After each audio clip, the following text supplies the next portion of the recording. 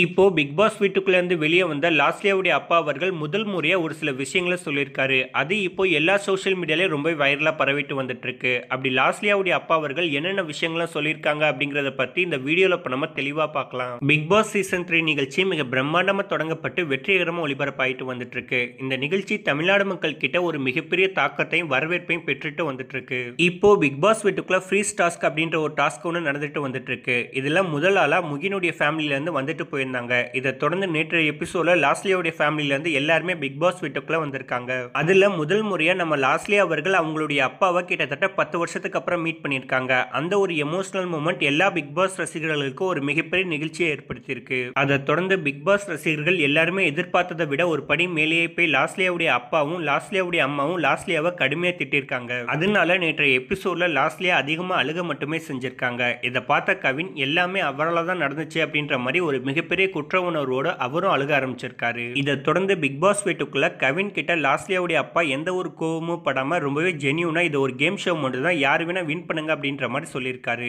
இதை கேட்ட கவின் உடனே சாரி கேட்டிருக்காரு. அதுக்கு லாஸ்லியாவுடைய அப்பா ரொம்பவே கேஷுவலா நீங்க எதுக்காக சாரி கேட்குறீங்க இது எல்லாமே கேம் மட்டும் தானே அப்படின்ற மாதிரி சொல்லி முடிச்சிருக்காரு. அது மட்டும் இல்லாம இவரு லாஸ்லியா கிட்ட பல அட்வைஸையும் கொடுத்துட்டு போயிருக்காரு. அதே மாதிரி லாஸ்லியாவுடைய அம்மாவும் லாஸ்லியா கிட்ட பல விஷயங்களை சொல்லியிருக்காங்க. அது எல்லாத்தையுமே கேட்ட நம்ம லாஸ்லியா இனிமே நான் கரெக்டா இருக்கேன் அப்படின்ற மாதிரியும் சொல்லியிருக்காங்க ஸோ இப்போ பிக் பாஸ் வீட்டை விட்டு வெளியே வந்த நம்ம லாஸ்லியாவுடைய அப்பா முதல் முறையாக ஒரு சில விஷயங்களை சொல்லியிருக்காங்க. அது என்னென்ன விஷயங்கள் அப்படின்னு பார்த்தோம்னா இந்த பிக் பாஸ் நிகழ்ச்சி ரொம்பவே நல்லா நடந்துட்டு வந்துட்டு இருக்கு இப்போ இந்த பிக் பாஸ் வீட்டுக்குள்ள போயிட்டு வந்தது எனக்கு ஒரு மிகப்பெரிய மகிழ்ச்சியை கொடுத்துருக்கு அப்படின்ற மாதிரி சொல்லியிருக்காரு. இதை தொடர்ந்து இந்த பிக் பாஸ் நிகழ்ச்சி மூலியமா பத்து வருஷம் கழிச்சு என்னுடைய பொண்ணையும் என்னுடைய குடும்பத்தார்களையும் பார்த்தது எனக்கு ஒரு மிகப்பெரிய சந்தோஷத்தை கொடுத்துருக்கு. அதுக்காக பிக் பாஸ் அவர்களுக்கு ஒரு மிகப்பெரிய நன்றியும் சொல்லியிருக்காரு.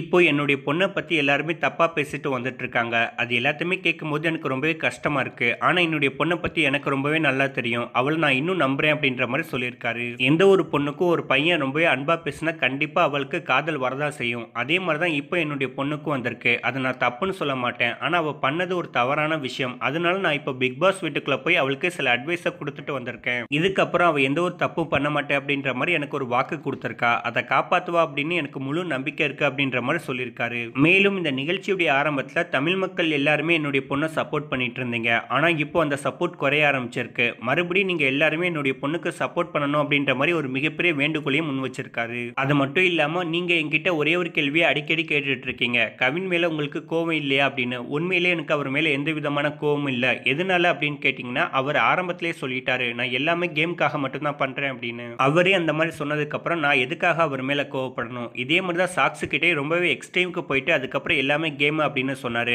அதே மாதிரி தான் கண்டிப்பாக என்னுடைய பொண்ணுகிட்டே சொல்லுவாரு. அது மூலியமா என்னுடைய பொண்ணு மட்டும்தான் அதிகமாக பாதிக்கப்படுவா. அதனால தான் இப்போ நாங்கள் பிக் பாஸ் வீட்டுக்குள்ளே போய் ரொம்ப ஓப்பனாக சொல்லிட்டு வந்துட்டோம். நீ யாரையுமே நம்பாத உன்னுடைய கேமில் மட்டும் ஃபோக்கஸ் பண்ணிட்டு எங்கள் கூட வந்துரு அப்படின்னு. ஸோ இந்த பிக் பாஸ் சீசன் த்ரீ நிகழ்ச்சியோட டைட்டில் வின்னராக யாராக வந்தாலும் எனக்கு ஒரு மிகப்பெரிய சந்தோஷம் தான். அதில் ஃபைனல்ஸ் வரைக்கும் என் பொண்ணு வந்தால் நான் ரொம்பவே மகிழ்ச்சி அடைவேன் அப்படின்ற மாதிரி சொல்லி முடிச்சிருக்காரு. ஸோ இப்போ லாஸ்லியாவுடைய அப்பா முதல் முறையாக அவருடைய கருத்து சொன்னதான் இப்போ எல்லா சோஷியல் மீடியாலையும் ரொம்பவே வைரலாக வந்துட்டு இருக்கு. ஸோ இந்த வீடியோவை பார்த்துட்டு இருக்க நீங்கள் எல்லாரும் இப்போ லாஸ்லியாவுடைய அப்பா பிக் பாஸ் வீட்டிலேருந்து வெளியே வந்ததுக்கப்புறம் அவர் சொன்ன விஷயங்கள்லாம் கேட்டுட்டு என்ன நினைக்கிறீங்க? அப்படின்னு உங்களுடைய கருத்துக்களை எங்களுடைய கமெண்ட் பாக்ஸில் ஷேர் பண்ணிக்கோங்க. இந்த வீடியோ உங்களுக்கு பிடிச்சிருந்தா லைக் பண்ணுங்கள் ஷேர் பண்ணுங்கள் மேலும் இது போன்ற பல வீடியோக்களை பார்க்க தமிழ் டியூப் சேனலை சப்ஸ்கிரைப் பண்ணுங்கள்